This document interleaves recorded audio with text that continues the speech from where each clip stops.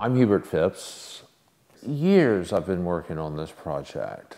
I'm doing something new with the sculpture. I wanted to transcend the realm of physical objects and introduce light and sound.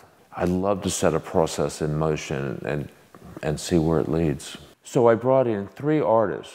My name is Jeff Grants. I'm Jason Krigler. My name is Sam Okerstrom Lang. Collaboration works incredibly well as long as you have complete faith in the people you're collaborating with. We decided to make Dreamwall 25 feet long. The form was incredibly complicated. We had a model that was probably this big where we could at least begin to mock up how light would bounce off of this complex form, how we would need to situate projectors at various angles in order to hit all the faceted curves. This was a parallel drive forward of knowing that we have sculpture, we have sound, we have visual, and they're all leading up to this convergence. So we normally associate art with a physical object. Underlying the artwork is an idea. The artwork is, is really just one expression of that idea.